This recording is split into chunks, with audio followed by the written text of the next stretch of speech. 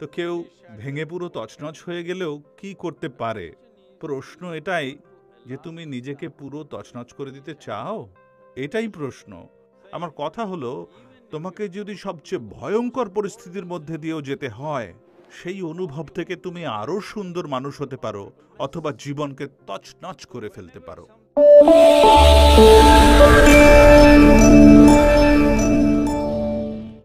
সদ্গুরু কম বয়সে কোনো সমস্যা এলে কিছুতে ব্যর্থ হলে বা সম্পর্ক ভেঙে গেলে কেউ কেউ সমস্যা মেটানো বা সমাধান খোঁজার বদলে ড্রাগ বা মদের নেশায় জড়িয়ে পড়ে।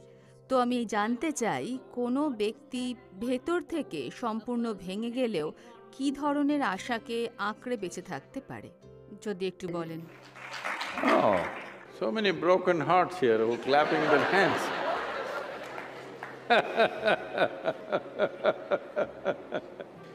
অনেক ভাঙা হৃদয় রয়েছে এখানে যারা হাততালি দিচ্ছে।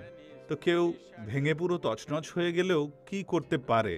প্রশ্ন এটাই যে তুমি নিজেকে পুরো তছনছ করে দিতে চাও? এটাই প্রশ্ন। আর অনেক জিনিস যা তোমার জীবনের শুরুতে কাজ করেনি, পরে গিয়ে দেখবে সেগুলোই দারুণ আশীর্বাদ মনে হচ্ছে।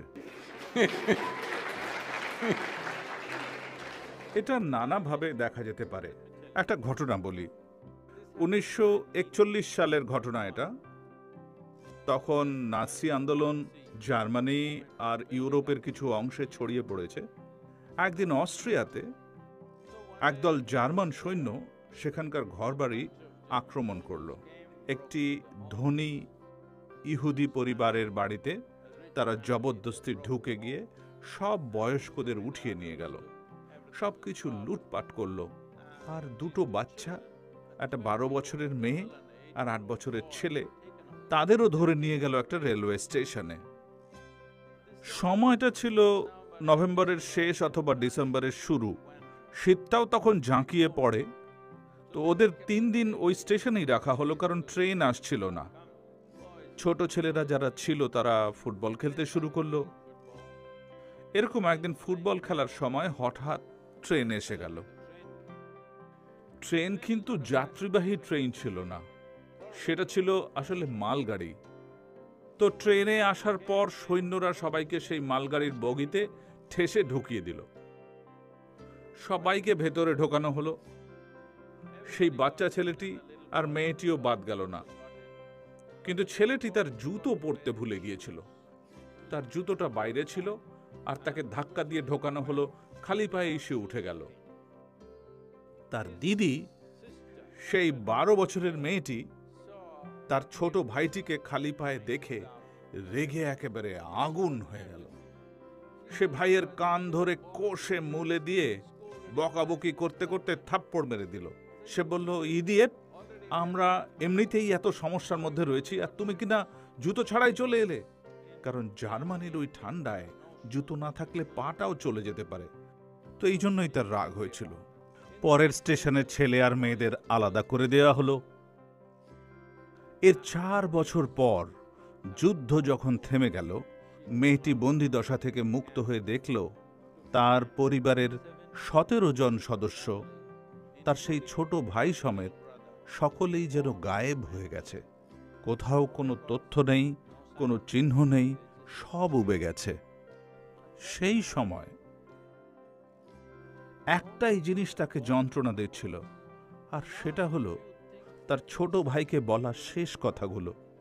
সে তার ভাইকে খুব ভালোবাসত, কিন্তু ছোট ভাইকে বলা শেষ কথাগুলো এতটাই কঠিন ছিল যে সেই কথাগুলোই তার বোনের মধ্যে ঘুরছিল আর তাকে যন্ত্রণা দিচ্ছিল।